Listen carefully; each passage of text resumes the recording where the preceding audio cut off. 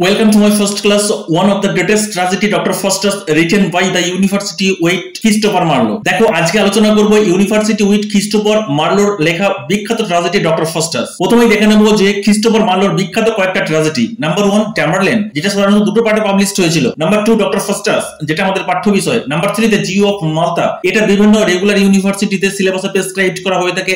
And number four Edward the Second সাধারণত এখানে যতগুলো ট্রাজেডি আছে এর মধ্যে কোনো না কোনো ট্রাজেডি কোনো না কোনো ইউনিভার্সিটির সিলেবাসে প্রেসক্রাইব করা হয়ে থাকে। ক্লিয়ার যেমন তোমাদের সিলেবাসে আছে ডক্টর ফাস্টার দেখো, এর ইন্ট্রোডাকশন সাধারণত একটু তোমার কাছে টাফ মনে হতে পারে। আমি যে সমস্ত ইনফরমেশনগুলো প্রোভাইড করছি, সেগুলো অবশ্যই অবশ্যই তুমি নোট করে রাখতে পারো। কেন কি এগুলো রেগুলার ইউনিভার্সিটির ক্ষেত্রে খুবই গুরুত্বপূর্ণ। খ্রিস্টোফার মার্লোর সম্পর্কে একটা কথা বলা হয়ে থাকে যে, বর্তমান যিনি শেক্সপিয়ার আজকের যিনি শেক্সপিয়ার যিনি শেক্সপিয়ার হয়েছেন, তার রাস্তাটা তৈরি করে গিয়েছিলেন খ্রিস্টোফার মার্লো ক্লিয়ার সুতরাং খ্রিস্টোফার মার্লোর লেখা বিখ্যাত ট্র্যাজেডি ডক্টর ফাস্টাস সেটা কোথা থেকে নেওয়া হয়েছে? Doctor Faustus was not a character actually doctor এর যে চরিত্র এটা রকমই কাল্পনিক চরিত্র নয়। তাহলে চরিত্রটা কোথাকার? এটা একটা ক্যারেক্টার বলা যেতে পারে। There was a historical character name Georgius or Johannes actually Johannes অথবা জর্জিয়াস এরকম নামে একজন হিস্টোরিক্যাল ক্যারেক্টার ছিল, যিনি কিনা কীরকম ছিলেন, যিনি সাধারণত একজন ছিলেন ট্রাভেলিং স্কলার এন্ড পাশাপাশি ম্যাজিসিয়ান এবং ওনার সালটা কত ছিল? From one five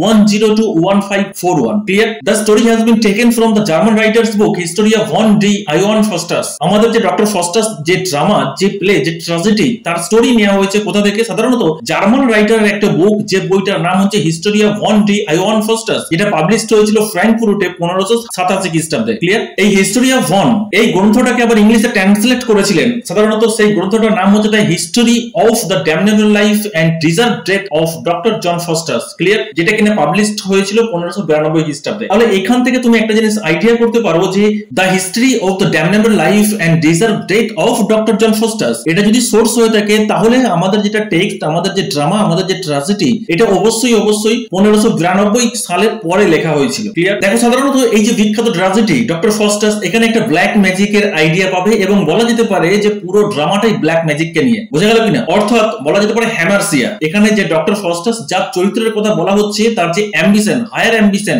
এবং ধরে নেওয়া হয় বা এখানে ডক্টর ফাস্টাস তার ক্যারেক্টারের প্রকাশ করা হয়েছে যে ডক্টর ফাস্টাসের সমস্ত নলেজ অর্জন করা হয়ে গেছে, এরপর ধীরে ধীরে সে ব্ল্যাক ম্যাজিকের দিকে এগিয়ে যেতে থাকে ক্লিয়ার সুতরাং এখানে ব্ল্যাক ম্যাজিক তার জীবনের একটা করুণ পরিণতি ডেকে আনে। তাহলে এই ড্রামার যে ব্ল্যাক ম্যাজিকের আইডিয়াটা কোথা থেকে নেওয়া হয়েছে the idea of magic as a black or evil art came with the Christianity খ্রিস্টিয়ানিটির সাথে সাধারণত এই ব্ল্যাক ম্যাজিক কথাটা জড়িয়ে আছে, সেটা হতে পারে ব্ল্যাক হতে পারে evil clear for the Greeks regarded magical powers as the gift of the gods তার কারণ কি? কারণ সাধারণত গ্রিক্সরা কি মনে করতেন? যে এই যে ম্যাজিক্যাল পাওয়ার সেটা ব্ল্যাক অর ইভিল এটা সাধারণত ঈশ্বরেরই একটা দান ক্লিয়ার তাহলে আমার টাইটেল কি? The title of the play the tragical history of doctor Faustus from the quarto of one six one six এই টাইটেলের মধ্যে বেশ কিছু ইনফরমেশন লুকিয়ে আছে। ক্লিয়ার হলো কিনা? সাধারণত অনেক বইতে বলা হয়ে থাকে যে doctor ফাস্টাসের original title the history of the damnable life and deserve death of doctor John Faustus যেটা আমি আগেই বলেছি। আবার অনেক বইতে বলা হয়ে থাকে ডক্টর ফাস্টাসের original title the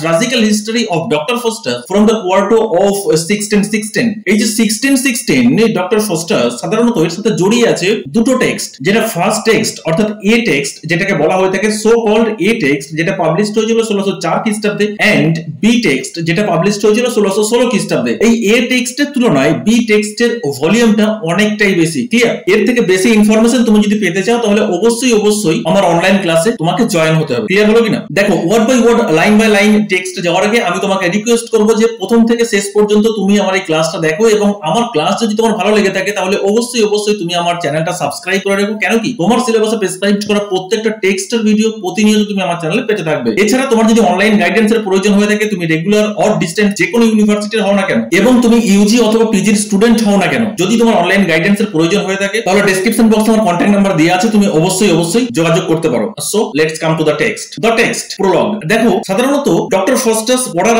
আগে এখানে দুটো জিনিস তোমাকে জানতে হবে। Number one prologue and number two chorus এখানে প্রলগ কি? অ্যাকচুয়ালি প্রলগ এর উদ্দেশ্য হচ্ছে purpose of prologue is to introduce the play অর্থাৎ প্লেটা কি সম্পর্কে হতে যাচ্ছে, সেই সম্পর্কে প্রলগে বলে দেওয়া হয়ে থাকে। তাহলে কি হলো? Purpose of prologue purpose of prologue is to introduce the play অর্থাৎ প্লেটা কি সম্পর্কে, সেই ব্যাপারটাই প্রথমে বলে দেওয়া হয়ে থাকে। ক্লিয়ার এরপরে আসি কোরাস সাধারণত দেখো কোরাস এটা বলা হয়ে থাকে the chorus in Greek drama considered of a group of singers and dancers Greek ড্রামার ক্ষেত্রে বলা যেতে পারে পারে একটা গ্রুপ থাকে যাদের উদ্দেশ্য হচ্ছে গান করা এবং ডান্স করা। ক্লিয়ার কিন্তু এখানে খ্রিস্টোফার মার্লো উনি কি করেছেন? উনি সাধারণত একজন সিঙ্গেল কোরাসকে ইউজ করেছেন। কোরাসের ডেফিনেশনে দেখা গেছে যে সেখানে অবশ্যই অবশ্যই একটা গ্রুপ থাকবে। সেটা সিঙ্গারের গ্রুপ হতে পারে এবং ডান্সারের গ্রুপ হতে পারে। ক্লিয়ার নর্মালি গ্রিক ড্রামার ক্ষেত্রে a group of dancer and singer কিন্তু এখানে খ্রিস্টোফার মার্লো উনি কি করেছেন? উনি জাস্ট সিঙ্গেল একজন ব্যক্তিকে ইউজ করেছেন কোরাস হিসেবে। ক্লিয়ার দেখো, প্রথমে প্রলোগে কি বলা হচ্ছে? প্রলোগে যিনি কোরাস যিনি স্টেজে বলছেন এই প্লে সম্পর্কে প্রলোগে যিনি বলছেন, কি বলছেন? Not marching now in fields of Thrasimene এখানে বলা হচ্ছে নট মার্চিং এখানে not marching means not going to clear not going to সাধারণত এটা বলতে যাচ্ছি না নাও এখন, বর্তমানে in fields of Thrasimene actually এই যে ফিল্ড মিনস হচ্ছে ব্যাটল ফিল্ডের কথা বলা হচ্ছে। এখানে থ্রাসিমেন এই যে ব্যাটল ফিল্ড থ্রাসিমেন মানে যে জায়গার কথা বলা হচ্ছে, সেখানে যে ব্যাটল ফিল্ডের কথা বলা হচ্ছে, সেখানে যুদ্ধ হয়েছিল। সেখানে সাধারণত কার সঙ্গে কার যুদ্ধ হয়েছিল? সেখানে বলা যেতে পারে যে রোমানদের সাথে ক্যাথারজিনিয়ানদের যুদ্ধ হয়েছিল। এবং এই ব্যাটল ফিল্ডে কি হয়েছিল? Where Mars did made the Carthaginians যেখানে মার্স এখানে মার্সকে এখানে মার্স রোমান গড কিসের গড সাধারণত যুদ্ধের যিনি গড ক্লিয়ার হলো কিনা? তিনি কি করেছিলেন? তিনি ফেভার নিয়েছিলেন। এখানে মেট মেট মিনস হচ্ছে পক্ষ নেওয়া ফেভার নেওয়া। কাদের কার্থেজিনিয়ানসদের ক্লিয়ার এবং রোমানদের ডিফিট করে দিয়েছিলেন। যদিও ভালেই মার্স ইনি হচ্ছেন রোমানদের দেবতা, তথাপি ইনি রোমানদের বিরুদ্ধে যুদ্ধ করেছিলেন এবং কার্থেজিয়ানসদের সাপোর্ট করেছিলেন। ক্লিয়ার সুতরাং বলা যেতে পারে যে কার্থেজিনিয়ানসদের কাছে সাধারণত রোমানরা হেরে গিয়েছিল। এইভাবে বলা যেতে পারে the Romans were defeated by the Carthaginians with the help of the god of war clear হলো কিনা? Not sporting in the dalliance of love তারপরে কোরাস কি বলছে? যিনি সিঙ্গেল পার্সন যিনি এখানে বলতে চাইছেন ড্রামা সম্পর্কে আচ্ছা এখানে এরকমও কোনো কিছু উপস্থাপন করতে যাওয়া হচ্ছে না। Not sporting that means not sporting that means বলা যেতে পারে যে ওয়েস্টিং অ্যাওয়ে টাইম অর্থাৎ এরকম কোনো সময় অপচয় করতে যাওয়া হচ্ছে না in the dalliance of love এখানে ডেলিয়েন্স মিনস অ্যামিউজমেন্ট এখানে অ্যামিউজমেন্ট অফ লাভ বা লাভের সম্পর্কে কোনো কিছু বলে সময় নষ্ট করতে যাচ্ছি না। ইন কোর্টস অফ কিংস সাধারণত লাভটা কোথাকার? এই কোর্টস অফ কিং অর্থাৎ কোর্টলি লাভের কথা বলে এখানে টাইম নষ্ট করতে যাচ্ছি না বা সেরকম কোনো কিছু এখানে পারফর্ম বা স্টেজ করতে যাওয়া হচ্ছে না। ক্লিয়ার হলো কিনা? যে amusement of love in courtly life যেটা কি করেছে? সাধারণত হোয়াইট স্টেট ইজ ওভারথ্রন যে ভালোবাসা অথবা বলা যেতে পারে যে অ্যামিউজমেন্ট অফ লাভ সাধারণত কোনো দেশের ক্ষেত্রে তার ধ্বংস ডেকে এনেছে। সেরকম কোনো কিছু ঘটনা সাধারণত পারফর্ম করতে যাওয়া হচ্ছে না। ক্লিয়ার আবার এরকমও কোনো কিছু পারফর্ম করতে যাওয়া হচ্ছে না not in the pomp of proud audacious deed আবার এরকম কোনো কিছু পারফর্ম করতে যাওয়া হচ্ছে না অডেসিয়াস ডিট এখানে অডেসিয়াস কথার অর্থ হচ্ছে গ্রেট আর ডিটস কথার অর্থ হচ্ছে ক্রিয়াকলাপ ক্লিয়ার এরকম কোনো মহান ক্রিয়াকলাপ প্রেজেন্ট করতে যাওয়া হচ্ছে না, সাধারণত যে মহান ক্রিয়াকলাপের জন্য pomp of proud that means কোনো যোদ্ধারা, কোনো নাইটরা নিজেদেরকে গর্বিত মনে করেন ক্লিয়ার সুতরাং এরকম কোনো বোগাস জিনিসও এখানে উপস্থাপন করতে যাওয়া হচ্ছে না বা পারফর্ম করতে যাওয়া হচ্ছে না। Intends our muse to vaunt her heavenly verse আবার এরকম এই যে তিনটে ঘটনা বলা হলো, এই তিনটে ঘটনা নিয়ে কখনোই কোনো মিউজ এরকম চিন্তা ভাবনা করেননি ইন্টেন্স দ্যাট মিনস বলা যেতে পারে যে চিন্তা ভাবনা করা বা মনস্থির করা তার হেভেনলি ভার্সের মধ্যে, কবিতার মধ্যে বর্ণনা করবে। তো সেরকম কোনো কিছু নিয়ে আমরা বর্ণনা করতে যাচ্ছি না। তাহলে ক্লিয়ার তাহলে এখানে কি হলো? এখানে কোনো যুদ্ধের কথা আমরা পারফর্ম করতে যাচ্ছি না বা যুদ্ধের কোনো ঘটনা আমরা পারফর্ম করতে যাচ্ছি না। নাম্বার ওয়ান নাম্বার টু এখানে কোনো amusement of love in courtly life এরকম কোনো ঘটনা আমরা স্টেজড বা পারফর্ম করতে যাচ্ছি ক্লিয়ার নাম্বার থ্রি এখানে কোন রকম কোনো কোনো ফলস ডিড সেরকম কোনো নাইটের ফলস ডিড যার জন্য নাইটরা গর্বিত অনুভব করেন নিজেদেরকে, সেরকম কোনো ক্রিয়াকলাপও এখানে স্টেজড বা পারফর্ম করতে যাওয়া হচ্ছে না। ক্লিয়ার হয়েছে? তাহলে আমরা কি পারফর্ম করতে যাচ্ছি? ক্লিয়ার হলো কিনা? চলো নেক্সট কি পারফর্ম করতে যাচ্ছি? এখানে বলা হচ্ছে অনলি দিস জেন্টেলম্যান এখানে জেন্টেলম্যান কথাটার অর্থ হচ্ছে, এখানে অডিয়েন্সদের উদ্দেশ্য করে সাধারণত কোরাস বলছে অনলি দিস শুধুমাত্র my dear audience we must perform আমরা পারফর্ম করতে যাচ্ছি the form that means the drama অর্থাৎ we must perform the drama আমরা একটা ড্রামা পারফর্ম করতে যাচ্ছি, সেটা কার সম্পর্কে? অফ ফস্টাস ফরচুন অর্থাৎ ফস্টাসের ভবিষ্যৎ সম্পর্কে ক্লিয়ার ফস্টাসের ভাগ্য সম্পর্কে, যে ফস্টাসের ভাগ্যটা কি রকম হয়েছিল পরবর্তীকালে? ফস্টাসের লাইফটা কি রকম হয়েছিল গুড অর ব্যাড ভালো হয়েছিল কি খারাপ হয়েছিল? এই ব্যাপারটা আমরা পারফর্ম করতে যাচ্ছি এবং এই কারণে তোমরা কি করবে? To patient judgement that means তোমরা খুব ধৈর্য সহকারে বিচার বিবেচনা করবে এবং উই অ্যাপিল আওয়ার প্লট এবং আমি প্রার্থনা করছি বা আমরা প্রার্থনা করছি টু মাই ডিয়ার অডিয়েন্স যে অবশ্যই তোমরা আমাদের প্রশংসা করবে। এখানে plot mean phrase and speak for Faustus in his infancy এবং আমরা বলতে যাচ্ছি বা আমরা উপস্থাপন করতে যাচ্ছি ফস্টাসের ক্যারেক্টার ফস্টাসের চরিত্র বা ফস্টাসকে তার ইনফেন্সি থেকে, তার চাইল্ডহুড থেকে। ক্লিয়ার হলো কিনা? অর্থাৎ আমরা ফস্টাসের লাইফকে তার চাইল্ডহুড থেকে, তার ডেথ পর্যন্ত আমরা উপস্থাপন করতে যাচ্ছি অথবা পারফর্ম করতে যাচ্ছি। ক্লিয়ার হয়েছে? চলো নেক্সট হ্যাঁ এখানে একটা কথা বলে রাখা ভালো। দেখো, যেটা বলা যেতে পারে যে ফস্টাসের আগে, এখন পর্যন্ত কিন্তু ডক্টরেট কথাটা কিন্তু এখনও ইউজ করা হয়নি। জাস্ট সিম্পল ফস্টাস কথাটাই ইউজ করা হচ্ছে। দ্যাট মিনস তার যেটা নাম, সেটাই এখানে ইউজ করা হচ্ছে। ক্লিয়ার হলো কিনা? চলো নেক্সট এরপরে ফস্টাসের বর্ণনা দিচ্ছে। নাও ইজ বর্ন সে জন্মগ্রহণ করেছে। His parents base of stock এখানে স্টক বেস অফ স্টকস কথাটা বলা যেতে পারে of humble origin clear of humble origin that means poor people এখানে যে ফস্টাস ফস্টাস সাধারণত জন্মগ্রহণ করেছেন একটা পোর ফ্যামিলিতে ক্লিয়ার হলো কিনা? তার পিতামাতা পোর ফ্যামিলি থেকে বিলং করতেন। জায়গাটা কোথায়? ইন জার্মানি এরপরে জার্মানির আরও নির্দিষ্ট করে বলে দেওয়া হয়েছে within a town called Rhodes that means যে টাউনটাতে জন্মগ্রহণ করেছিলেন, তার নাম হচ্ছে রোডস ক্লিয়ার এবং যে টাউনটাতে সাধারণত ফস্টাসের প্যারেন্টসরা বসবাস করতেন তার নাম হচ্ছে Rhodes clear of riper years এখানে রাইকর ইয়ার্স মিন্স বলা যেতে পারে যে ইন ম্যাচুরিটি ডক্টর ফস্টাস যখন একটু বড় হলো, যখন তার মধ্যে ম্যাচুরিটি এলো, তখন তাকে কোথায় পাঠানো হয়েছিল? তখন থেকে পাঠানো হয়েছিল ওয়েটেনবার্গে। ক্লিয়ার? ওয়েটেনবার্গ, হি ওয়েন্ট, তাকে পাঠানো হয়েছিল সেখানে। ওয়ারেস ইজ কিংসম্যান, এই যে কিংসম্যান কথার অর্থ হচ্ছে রিলেটিভস যেখানে সাধারণত ফস্টাস ফস্টাসের রিলেটিভসরা চিফলি ব্রট হিম আপ তাকে লালন পালন করে বড় করে তুলেছিলেন। ক্লিয়ার হলো কিনা? চলো next so soon he profits in divinity দেখো, এখানে এই যে ডিভিনিটির কথা বলা হচ্ছে ডিভিনিটি মিন্স হচ্ছে থিওলজি ক্লিয়ার অর্থাৎ ধর্মীয় সম্পর্কে যে থিওরি বলা যেতে পারে, সেটাকেই বলা হয়ে থাকে থিওলজি এখানে বলা হচ্ছে so soon he in divinity that means এখানে প্রফিট কথার অর্থ হচ্ছে খুব তাড়াতাড়ি ডক্টর ফস্টাস কি করেছিল? তার থিওলজিতে সে জ্ঞান অর্জন করেছিল এবং সে প্রোগ্রেস করেছিল। The fruitful plot of scholarism graced এখানে গ্রেস্ট কথার অর্থ হচ্ছে অর্থাৎ চড়ে বেড়ানো। ক্লিয়ার এবং ডক্টর ফস্টাস, বা ডক্টর ফস্টাস থেকে এখানে সিম্পলি ফস্টাস বলাটাই বেটার যে ফস্টাস উনি খুব সহজেই, খুব তাড়াতাড়ি কি করেছিলেন? এই যে থিওলজি এই থিওলজির ক্ষেত্রে উনি প্রচুর জ্ঞান অর্জন করে ফেলেছিলেন। ক্লিয়ার ওনার অবাধ বিচরণ ছিল এই ডেভিনিটিতে অর্থাৎ থিওলজির ক্ষেত্রে। ক্লিয়ার এই জন্যই বলা হচ্ছে ফ্রুটফুল প্লট দ্যাট মিনস এখানে প্লট মানে কোনো একটা এরিয়া ফ্রুটফুল দ্যাট মিনস এই ডেভিনিটি বা থিওলজি যেটা তার কাছে ফলপ্রসূ হয়েছিল অফ স্কলারিজম গ্রেস্ট স্কলারিজম মিনস হচ্ছে তার নলেজ বা তার দক্ষতা, তার জ্ঞান, তার যে বিচরণ ক্ষমতা ক্লিয়ার অর্থাৎ তিনি অগাধ জ্ঞানের অধিকারী হয়েছিলেন এই থিওলজিতে দ্যাট শর্টলি এবং খুব তাড়াতাড়ি he was grace that means এখানে গ্রেসড কথার অর্থ decorated he was graced with doctor's name এবং খুব তাড়াতাড়ি তিনি তার ডক্টরেট যে উপাধি, সেটা উনি পেয়ে গিয়েছিলেন।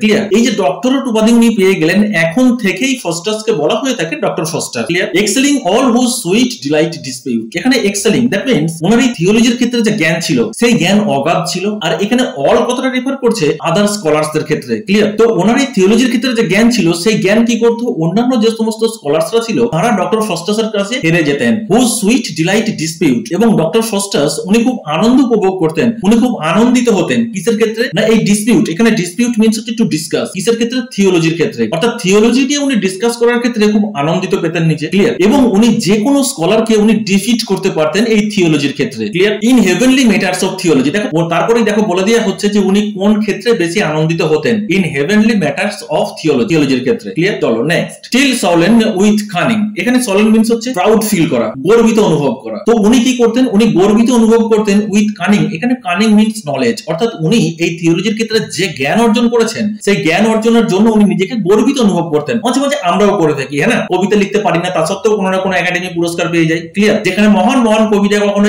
এক বছরের মধ্যে হয়তো দেখা গেছে যে দুশোটা কবিতা লিখতে পেরেছেন কিনা। তো এখানে দেখা যায় এমন কিছু মহান পোয়েট এন্ড পোয়েটাস আছেন, যারা কিনা এক বছরের মধ্যে হয়তো এক হাজার কবিতা লিখে ফেলতে পারেন। তো সেক্ষেত্রে দেখা যায় তারা যেমন গর্বিত অনুভব করেন, তো এখানে তো ডক্টর ফস্টাস যার জ্ঞানের কোনো বলা যেতে পারে গভীরতা মাপা যায় ক্লিয়ার তো সেরকম একজন ব্যক্তিত্ব, সে তো নিজেকে নিয়ে গর্বিত অনুভব করবেনি and of a self concept এখানে সেলফ কনসেপ্ট কথাটার অর্থ হচ্ছে self centre that means he gradually self centre উনি ধীরে ধীরে কি করতেন? একবার আত্মকেন্দ্রিক হয়ে উঠতে লাগলেন। হিজ ওয়েক্স এন্ড উইংস এখানে এই যে wax and wings that means বলা যেতে পারে এটা একটা অ্যালিউশনের কথা বলা হচ্ছে। এখানে অ্যালিউশনটা কি? সাধারণত গ্রিক মিথে যেটা আছে, একটা ডেডালাসের গল্প। ডেডালাসের পুত্র যিনি ছিলেন, তার নাম কি ছিল? ইকারাস। ক্লিয়ার হলো কিনা? তো এখানে বলা হচ্ছে হিজ ওয়েক্স এন্ড উইংস কিন্তু এখানে হিজ বলতে যদি ডক্টর ফস্টাসকে বলা হয়ে থাকে, তাহলে ওয়েক্স এন্ড উইংস বলা যেতে পারে তার যে হায়ার অ্যাম্বিশন ক্লিয়ার তার যে হায়ার অ্যাম্বিশন অথবা বলা যেতে পারে তার যে অগাধ জ্ঞান ক্লিয়ার সেটার ক্ষেত্রে বলা হচ্ছে did mount above his reach অর্থাৎ ডক্টর ফস্টাসের যে ক্যাপাবিলিটি তার ক্যাপাবিলিটির বাইরেও কি করেছিল? তার জ্ঞানকে সে বিস্তার লাভ করতে চাইছিলেন। অর্থাৎ এরকম বলা যেতে পারে যে beyond his power and capacity অর্থাৎ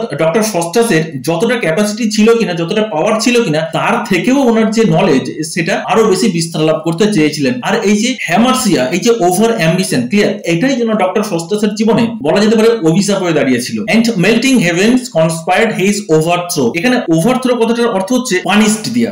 বা ছুড়ে ফেলে দেয়া, স্বর্গ থেকে ছুড়ে ফেলে দেয়া। তো এখানে যে মেল্টিং কথাটা বলা হচ্ছে, দেখো, আগেই যেটা বললাম যে গ্রিক মিথোলজিতে যেটা আছে সাধারণত ডেডালাস স্টিফেন ডেডালাস এবং তার ছেলে ইকারাসের যে গল্প আছে, এখানে সাধারণত যে ইকারাস এ কি চেয়েছিল, এ চেয়েছিল যে একে ডানা তৈরি করে দেওয়া হোক এবং একে যে ডানাটা তৈরি করে দিয়েছিলেন, সাধারণত স্টিফেন ডেডালাস তো ডানা তৈরি করে দেওয়ার পর কি করেছিল? তার ছিল সাধারণত তারও একটা উচ্চাকাঙ্ক্ষা ছিল যে যে কিনা সূর্যকে টাচ করবে। তো যখন এই ইকারাস সূর্যকে টাচ করতে যায়, তখন কি হয়? তখন তার সেই মোমের ডানাগুলো গলে যায় এবং সে নিচে পড়ে যায় এবং এরকম গল্পে বলা হয়ে থাকে যে সে যখন পৌঁছাতে যায় সূর্যের কাছে বা স্বর্গে যখন পৌঁছাতে যায়, তখন সাধারণত যে হেভেন্স এর কথা বলা হচ্ছে, এখানে হেভেন্স মিনস হচ্ছে গড অ্যান্ড অ্যাঞ্জেল তারা নিজেদের মধ্যে একটা কনস্পায়ার করেছিল। ক্লিয়ার হলো কিনা? ষড়যন্ত্র করেছিল এবং তাকে শাস্তি হিসেবে স্বর্গ থেকে ছুড়ে ফেলে দিয়েছিল। বোঝা গেল কিনা? তো এখানে বলা যেতে পারে যে ডক্টর ফস্টাসের এই যে ব্ল্যাক ম্যাজিকের ক্ষেত্রে যেটা পরে তুমি পাবে ডক্টর ফস্টাসের যে জ্ঞান, এই অগাধ জ্ঞান অর্জন করার যে আকাঙ্ক্ষা, এটাই যেন তার জীবনের সব থেকে বড় শত্রু হয়ে দাঁড়িয়েছিল। ক্লিয়ার হলো কিনা? চলো next for falling to a devilish exercise এই যে তারপরেই বলে দেওয়া হচ্ছে ডক্টর ফস্টাসের ক্ষেত্রে কোন জিনিসটা সব থেকে বেশি অভিশাপ হয়ে দাঁড়িয়েছিল? For falling to a devilish exercise এখানে ডেভিলিস এক্সারসাইজ কথাটার অর্থ হচ্ছে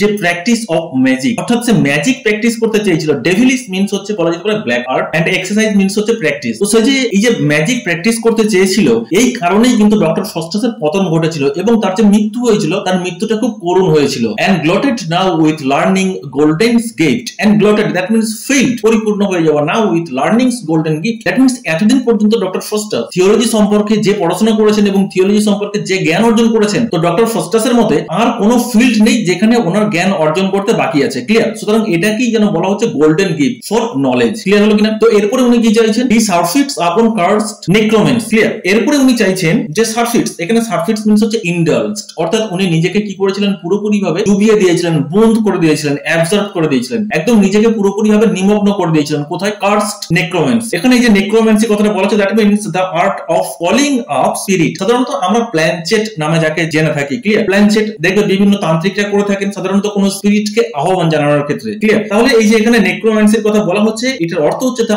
art of calling up spirit বিভিন্ন আত্মাকে সাধারণত ডেকে আনা ক্লিয়ার তার মানে হচ্ছে কালা জাদু যেটাকে বলা যেতে পারে ব্ল্যাক আর্ট তো উনি এই ব্ল্যাক আর্ট শেখার জন্য নিজেকে পুরোপুরি ভাবে উজাড় করে দেন এবং উনি দিন রাত পরিশ্রম করতে থাকেন এবং ওনার মধ্যে এরকম একটা আইডিয়া এসে যায় যে আমি যদি ব্ল্যাক ম্যাজিককে রপ্ত করতে পারি ক্যাপচার করতে পারি তাহলে পৃথিবীতে এমন কোনো ফিল্ড নেই যেখানে আমার জ্ঞান অর্জন করতে বাকি থেকে যাবে। ক্লিয়ার এই যে ওভার অ্যাম্বিশন বলা যেতে পারে, এই যে হ্যামারসিয়া যেটা ডক্টর ফস্টাসের জীবনে সব থেকে বড় বিপদ বা অভিশাপ হয়ে নেমে আসে। ক্লিয়ার চলো next nothing so sweet as magic is to him বলা হচ্ছে nothing so sweet nothing so sweet as magic অর্থাৎ এই যে ব্ল্যাক আর্ট যেটা শেখার জন্য ডক্টর ফস্টাস বেপরোয়া হয়ে পড়েছেন, মরিয়া হয়ে পড়েছেন। তো এর মতো এত ভালো জিনিস যেন পৃথিবীতে কোনো কিছুই ছিল না তার কাছে। Clear nothing so sweet as magic is to him that means বলা যেতে পারে যে ম্যাজিক চার্মড হিম গ্রেটলি অর্থাৎ এই ম্যাজিক এই ব্ল্যাক আর্ট যেন তাকে সব থেকে বেশি চার্ম করেছিল।